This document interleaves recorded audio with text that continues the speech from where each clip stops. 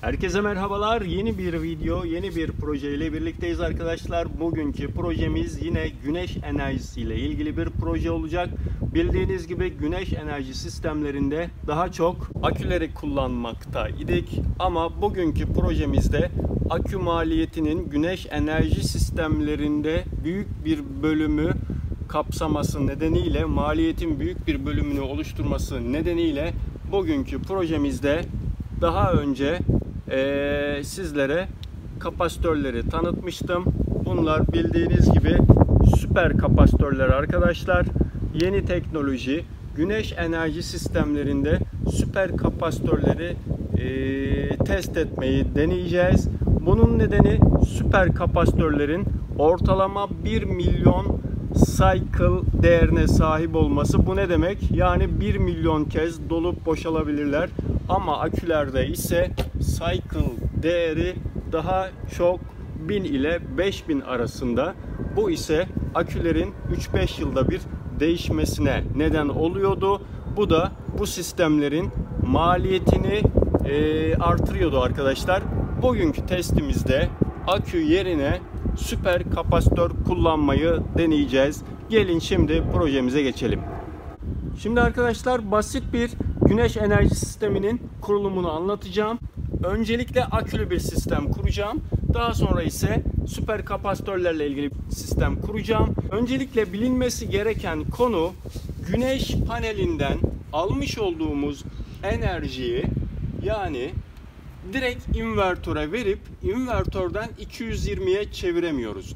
Mecburen güneş panelinden gene, gelen enerjiyi şu şekilde bir e, güneş şarj regülatörüne gireceğiz. Regülatörden daha sonra aküye, aküden ise invertöre gireceğiz ve daha sonra ise buradan 220 alabileceğiz. Sıralamamız bu şekilde. Öncelikle bu şekilde bağlantılarımızı oluşturalım. Tabii ki burada güneş panelinden ortalama 30 volta yakın bir gerilim alırız. Genelde bu 30 volta kadar çıkıyor arkadaşlar. Şu anda göründüğü gibi ortalama 22 volt civarında bir gerilim aldık.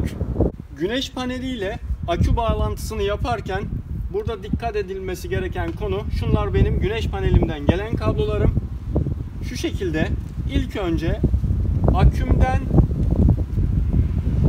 enerjiyi alalım. Şimdi öncelikle şarj regülatörümüzü aküye bağlıyoruz. Regülatör akünün 12 volt mu 24 volt mu olduğunu algılıyor arkadaşlar. Zaten e, şarj regülatörün üzerinde gerekli e, açıklamalar var. E, resimli bir şekilde anlatılmış. Yanlış yapmanıza imkan yok. Gördüğünüz gibi akünün artısı, akünün eksisi, güneş panelinin artısı, güneş panelinin eksisi arkadaşlar. Akümün artısını artı klemensime, eksisini ise eksi klemensime giriyorum. Aynı zamanda şarj regülatörümüz akümüzü koruyor. Akünün 14.2 voltta gerilimi ulaştığında e, güneş panelinden gelen gerilimi kesiyor arkadaşlar. Aynı zamanda şu iki kablom akümden direkt invertörüme giden kablolar. Bu invertör ise bildiğiniz bilgisayarlarda kullandığımız kesintisiz güç kaynağı invertörü arkadaşlar. Bunu kullanabilirsiniz bu sistemlerde. Yine aküden gelen eksiği eksi kutbuna artıyı ise invertörümün artı ucuna giriyorum.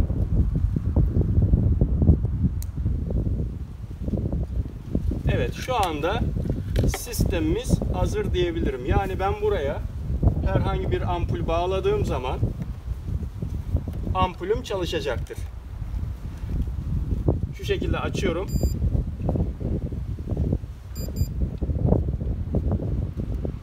Evet güneşten sanırım çok iyi gözükmüyor ama göründüğü gibi ampulüm şu anda yandı arkadaşlar. Evet Şimdi aküde hazır olan enerjiyi tüketiyoruz. Sıra geldi güneş panelini sisteme entegre etmemize. Hemen güneş panelimden gelen eksi kablomu şarj regülatörümün eksi klemensine şu şekilde artı ucumu ise yine artı klemensime şekildeki gibi giriyorum.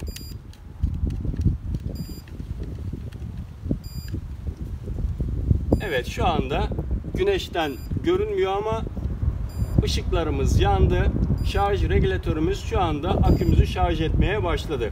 Standart bir güneş enerji sistemi kurulumu bu şekilde yapılır.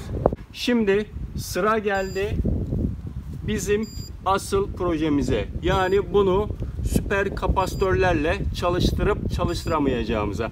Hemen sisteme süper kapasitörleri ilave edelim. Buradaki aküyü çıkaralım. Bakalım sistem çalışıyor mu arkadaşlar. Süper kapasitörlerle ilgili e, bir video yapmıştım ben. Yani bunları tanıtmıştım sizlere. E, linkini açıklamalar bölümüne koyacağım. Şimdi elimizde 2.7 volt 100 faradlık e, toplamda 10 tane süper kapasitör var. Ben bunların 5'ini seri yaptım şu kısmı. 5 tane de burada seri ve daha sonra bu 10 e, kapasitörü paralel bir şekilde birbirine bağladım.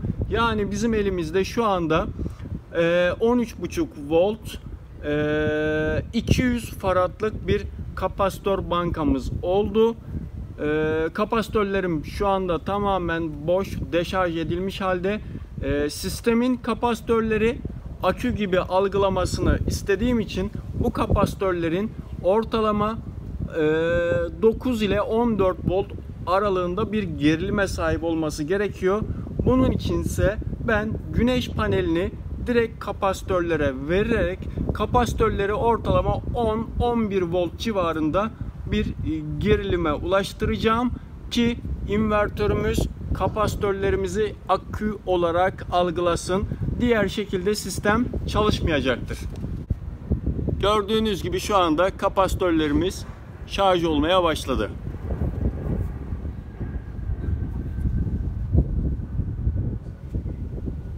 Evet arkadaşlar ortalama 10.3 volta kadar kapasitörlerimi şarj ettim. Yani kapasitörlerimiz bir akü oldu. Hemen sistemi aynı aküde olduğu gibi birbirine bağlayarak testimize başlıyoruz. Şunlar benim güneş panelinden gelen kablolarım arkadaşlar. Tabi ne yapıyorduk? İlk önce akümüzü yani kapasitörümüzü şarj regülatörüne bağlayacağız. Hemen kapasitörden gelen artı ucumu şarj regülatörümün artı klemensine eksi ucunu ise yine regülatörümün eksi klemensine bağlıyoruz. Kapasitörümden gelen diğer artımı invertörümün artı kutbuna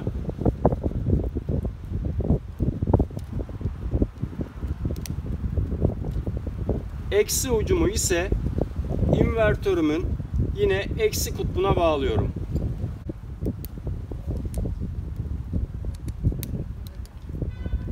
Daha sonra ise güneş panelimden gelen eksi ucumu şarj regülatörümün eksi kutbuna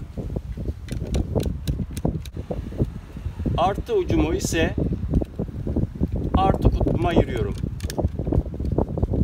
Evet sistemimiz şu anda hazır. Hemen kapasitörlerimizin gerilimine bakalım. Şu anda ortalama e, kapasitörlerimizin değeri 11.7 volta ulaştı.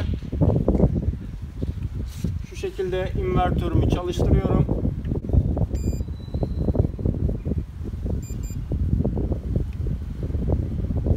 Evet gördüğünüz gibi buradaki lambamız yandı.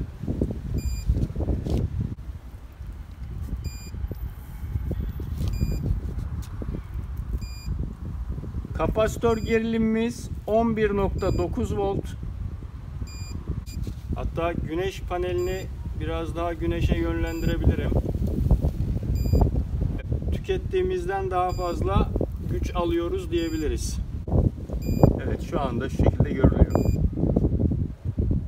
Kapasitör gerilimimiz şu anda artıyor. Bu demektir ki bizim ee, ürettiğimizden daha az tükettiğimizi bize söylüyor.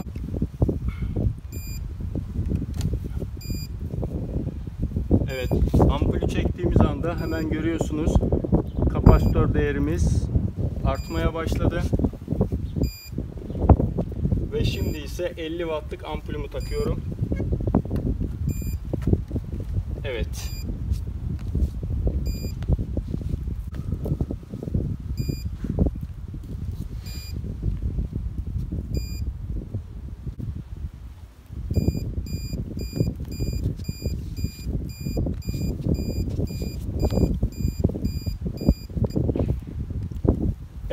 Şu anda üretmiş olduğumuz enerji tüketmiş olduğumuz enerjiden daha az olduğu için gördüğünüz gibi invertörüm kapandı arkadaşlar.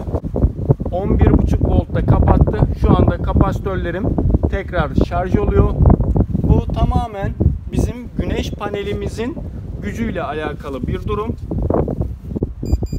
Tekrar start veriyorum. Tekrar başlattım. Eğer gerekli güç hesaplamaları yapılırsa kapasitörler devrede bir enerji dengeleyici olarak kullanılabilir ve akü maliyetinden tamamen kurtulmuş olabiliriz. Kapasitörlerin akülerin yerine güneş enerji sistemlerinde kullanılabileceği konusu önemli ve ilk olarak bunu test etmiş olduk. Konuyla ilgili istek önerilerinizi bana yorumlar bölümünden iletebilirsiniz. Videoyu beğendiyseniz like atmayı, kanalıma abone olmayı, yeni projelerden haberdar olmak için bildirimleri açmayı unutmayın. Şimdilik hoşçakalın.